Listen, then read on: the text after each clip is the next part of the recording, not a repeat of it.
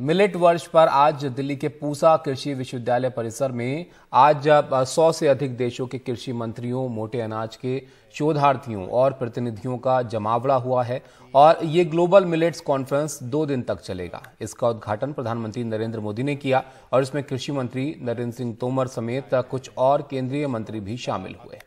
उस audio visual presentation को देखते हुए समझते हुए कि किस तरह से भारत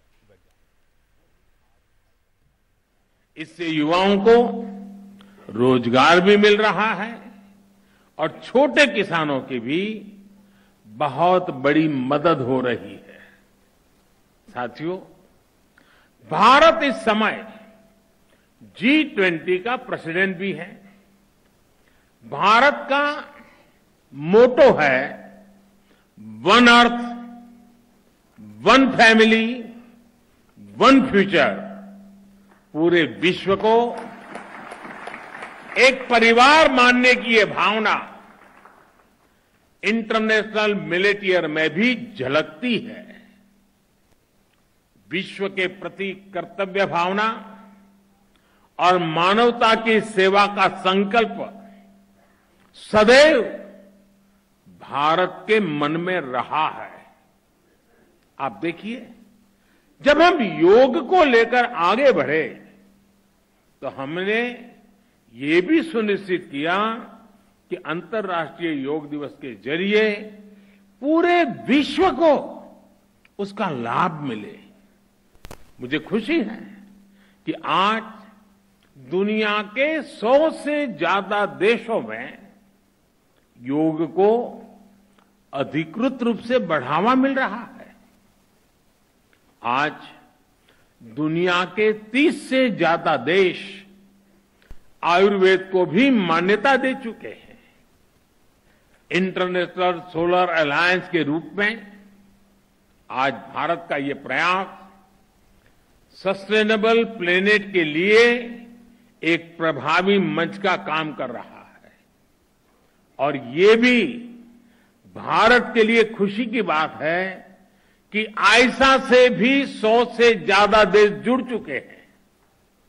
आज चाहे लाइफ मिशन की अगुवाई हो, क्लाइमेट चेंज से जुड़े लक्ष्यों को समय से पहले हासिल करना हो, हम अपनी विरासत से प्रेरणा लेते हैं, समाज में बदलाव को शुरू करते हैं और उसे विश्व कल्याण की भावना तक लेकर जाते हैं।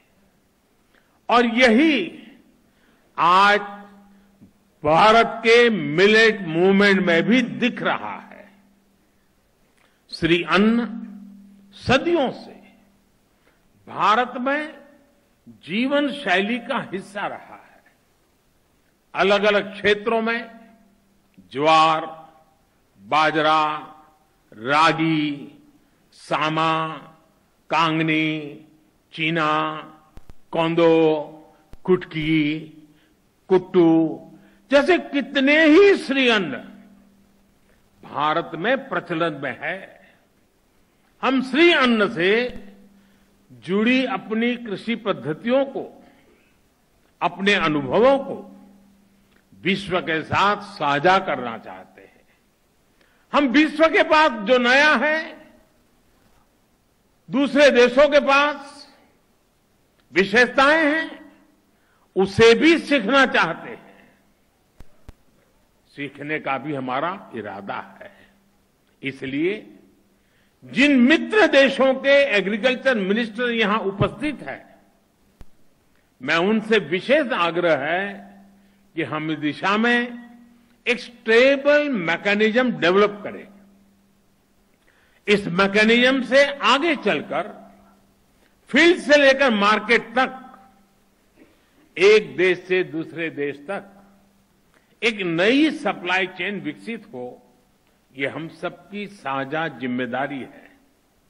साथियों, आज इस मंच पर मैं मिलेट्स की एक और ताकत पर ज़ोर देना चाहता हूँ।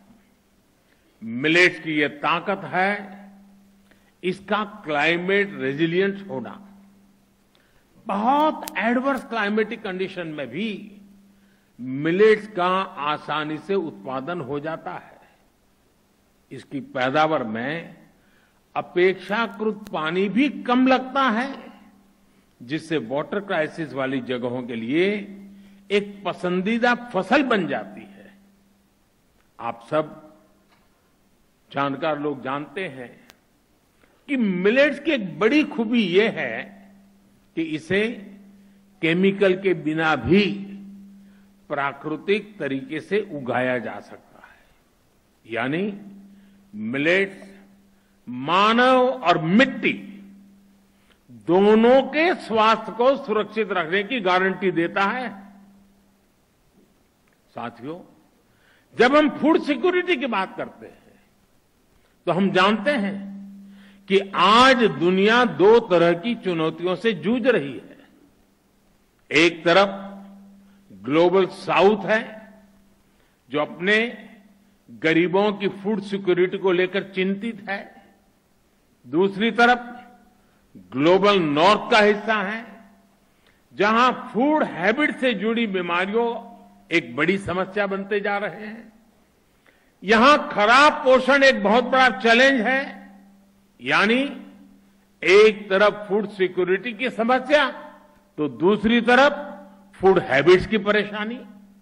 दोनों ही जगहों पर इस बात को लेकर चिंता जताई जा रही है कि पैदावार के लिए भारी मात्रा में केमिकल इस्तेमाल हो रहा है। लेकिन श्री अन्न ऐसी हर समस्या का भी समाधान देते हैं। ज़्यादातर मिलेट्स को उगाना आसान होता है। इसमें खर्च भी बहुत कम होता है। और दूसरी फ़सलों की तुलना में ये जल्दी तैयार भी हो जाता है। इनमें पोषण तो ज़्यादा होता ही है, साथ ही स्वाद में भी विशिष्ट होते हैं।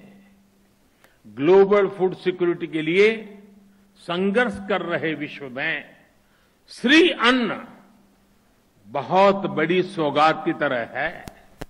इसी तरह श्री अन्न से फ़ूड हैबिट्स की समस्या भी ठीक हो सकती है। हाई फाइबर वाले इन फूड्स को शरीर और सेहत के लिए बहुत फ़ायदेमंद माना गया है। इनसे लाइफस्टाइल रिलेटेड बीमारियों को रोकने में बड़ी मदद मिलती है। यानी पर्सनल हेल्थ से लेकर ग्लोबल हेल्थ तक हमारी कई समस्याओं के हल में श्री अन्न से हम ज़रूर रास्ता खोज सकते हैं। साथियों, मिलेट के क्षेत्र में काम करने के लिए हमारे सामने अभी अनंत संभावनाएँ मौजूद है। आज भारत में नेशनल फ़ूड बास्केट में श्री अन्न का योगदान केवल पाँच छह प्रतिशत है भारत के वैज्ञानिकों को, कृषि क्षेत्र के जानकारों से मेरा आग्रह है कि हमें इसे बढ़ाने के लिए तेज़ी से काम करना होगा। हमें हर साल के लिए अचीवेबल टारगेट सेट करने होंगे। देश ने फ़ूड प्रोसेसिंग सेक्टर को बुश देने के लिए पीएलआई स्कीम भी शुरू की है। इसका ज़्यादा से ज़्यादा लाभ मिलेट सेक्टर को मिले, ज़्यादा से ज़्यादा कंपनियाँ मिलेट प्रोडक्ट बनाने के लिए आगे आए, इस दिशा को, इस सपने को सिद्ध करना हमें सुनिश्चित तो पीएम मोदी को आप देख रहे थे जो कि मिलेट वर्ष पर आज दिल्ली के पूसा कृषि विश्वविद्यालय परिसर में जो सौ से अधिक देशों के कृषि मंत्री हैं, उनके साथ मोटे अनाज के शोधार्थियों और जन प्रतिनिधियों का जमावड़ा हुआ। इसमें वो संबोधित कर रहे थे।